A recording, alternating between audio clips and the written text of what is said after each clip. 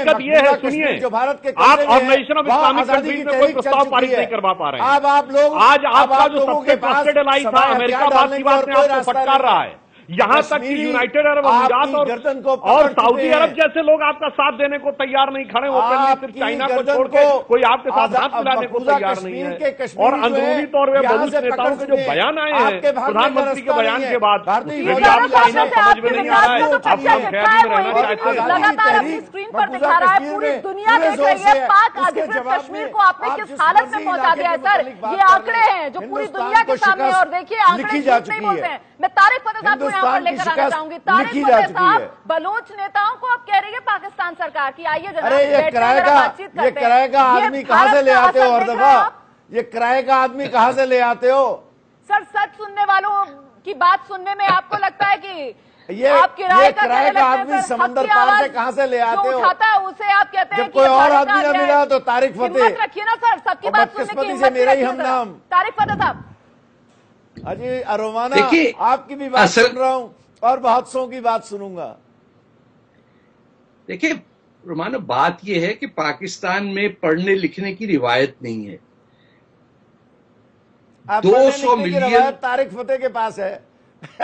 भाई ये चुप कर ले सर ये मस्जिद नहीं है। आप खामोश हो जाएँ थोड़ी देर। जहाँ इस ये ऐसा मुल्क है जहाँ अगर आप, एक आप किसी आप किसी गिरजाघर में पैदा हुए थे? हैं? जी बिल्कुल। आप किसी गिरजाघर में पैदा हुए हैं लगता ये है। हाँ एक कैथोलिक हॉस्पिटल में पैदा हुआ था। आपको बहुत तकलीफ़ होगी। आपने तो बनाया इलैहि राजिऊन। तारिक पीरजादा साहब दिखता। है पाकिस्तान की। लोगों को यही संदेश जाता है कि मुद्दा लगता कोई भी हो बात आकर धर्म पर खत्म करना चाहता है। पाकिस्तान। सर जरा आगे बढ़ जाइए। जरा सुन लीजिए दूसरों की बात भी। जी तारिक फतेह साहब। देखिए इनका प्रॉब्लम नहीं है इन बेचारे लोगों को माफ़ कर दीजिए। For they know not what they say Bible में बड़ा क्लियरली कहा है क्योंकि यहाँ कोई पढ़ता नहीं है। के रोटियाँ सर, खाने वाले जाइए। अब आज पाकिस्तान के खिलाफ खड़े होके बोल रहे हैं। शर्म नहीं आती मैं है। पाकिस्तान कर लो यार। जाइए जरा सुन लीजिए दूसरे की बात भी। सर दूसरे मत को भी सुनिए हिम्मत रखिए कर लो।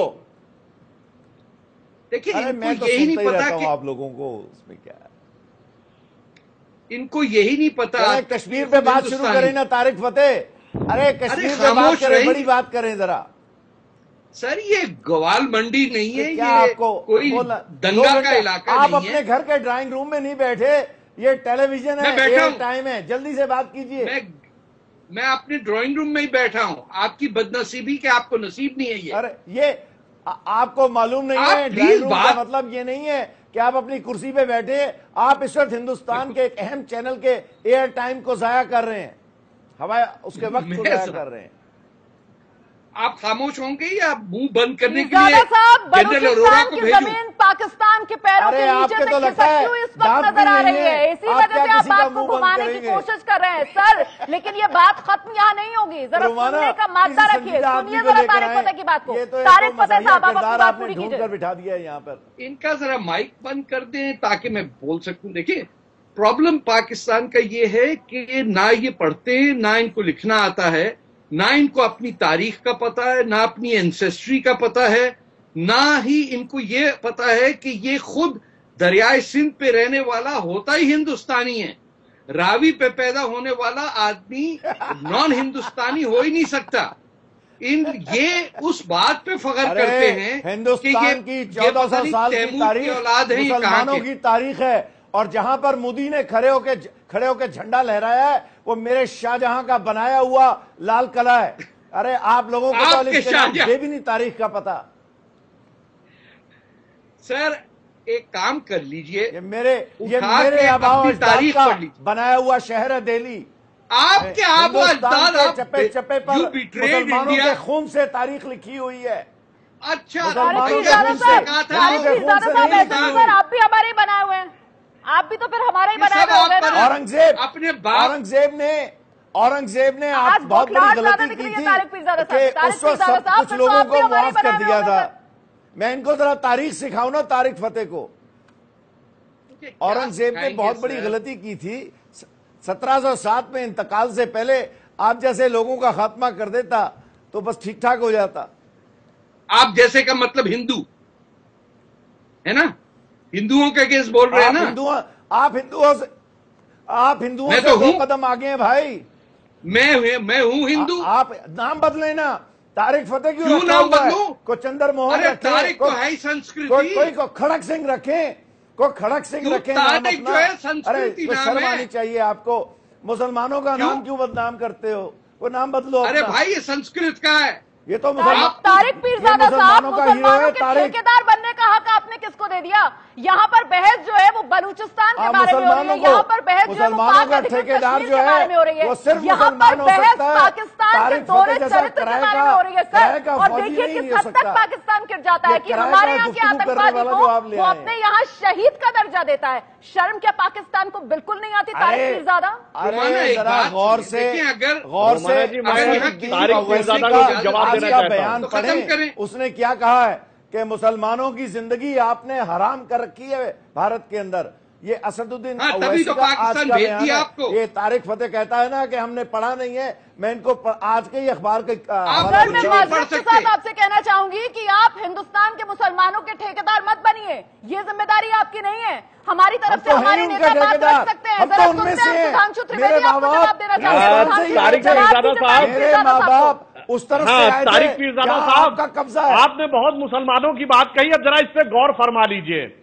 आप तो इस्लामिक ब्रदरहुड के नाम पे बने थे हम तो हिंदू ब्रदरहुड के नाम पे नहीं बने थे। आप इस्लामिक ब्रदरहुड के नाम पे क्या बने? ये बांग्लादेश से अलग हुआ? मुस्लिम तो अरे उस वक्त हम सौ होना शुरू हो गए थे। हमने तो आपको जान लिया था। जब आपने बंदे मातरम आपने आगे गाया है उसका अरे भाई आप हमारे कश्मीर में तो आप रिलीजियस कलर दे देते हैं। कि वो हिंदू और मुसलमान तो मुसलमानों का कश्मीर है? अरे भाई आपके बल्कि हो रहा है आपको गर्दन से पकड़ लिया है। आज़ादी की आपके बलूचिस्तान में क्या हो रहा है जितना मर्ज़ी शोर मचाइए। तारिक फतेह जी तो मुस्लिम है वो बोल रहे हैं। हमारी तरफ़ और हकीकत सुनिए तारीख की जहाँ तक बात है तो मैं अलामा इकबाल का ही आपको तारीख का शेर बता देना चाहता हूँ स्टेट है। हम यूनान मिस्र सबसे गए जहाँ से। मेरे भाई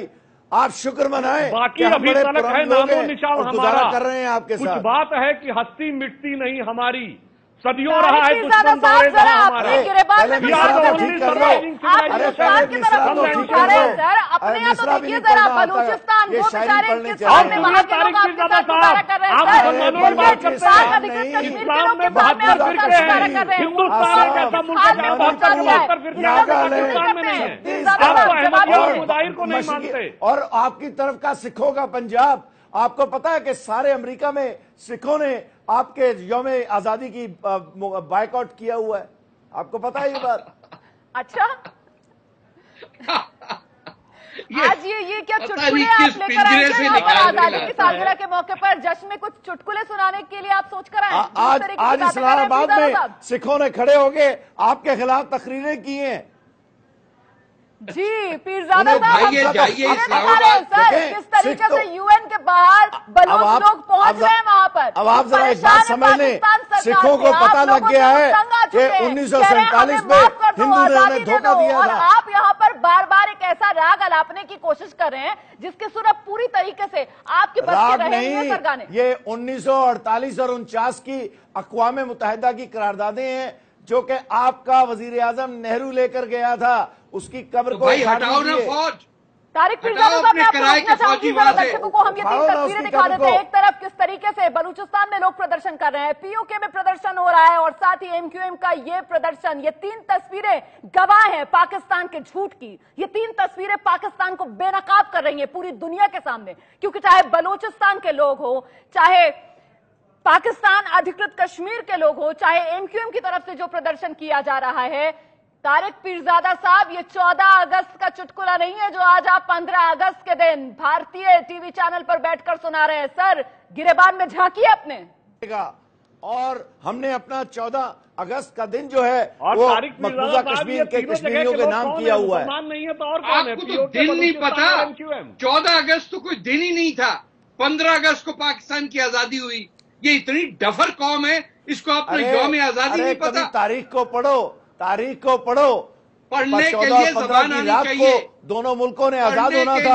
हमने चौदह को. मुंतखब किया आपने पंद्रह को।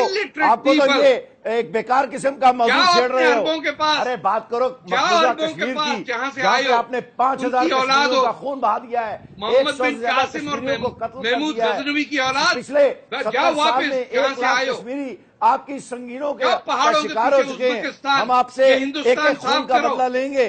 बचेंगे नहीं आप लोग। आप क्या बदला इस लेंगे? दफ़ा हम आपको आपको छोड़ेंगे नहीं। देंगे तो और ये किराए के जो आदमी आप ले आते हैं तारीख अरे, फतेह 100 जैसे, डॉलर में तो आप लोग खानदान बेच हिंदुस्तान के टेलीविज़न वालों को एबीपी को शर्म आनी चाहिए। इस तरह के किराए के लोग लाए। हिंदुस्तान में लोग नहीं गए। बड़े बड़े अच्छे लोग मौजूद हैं। तारिक हाँ, हाँ, साहब बड़े अच्छे हैं। जो सच बोल रहा है जो आपसे अलग राय रखता है उसे का कहकर इस तरीके से बच नहीं सकते हैं सर। ये सच है पूरा मुल्क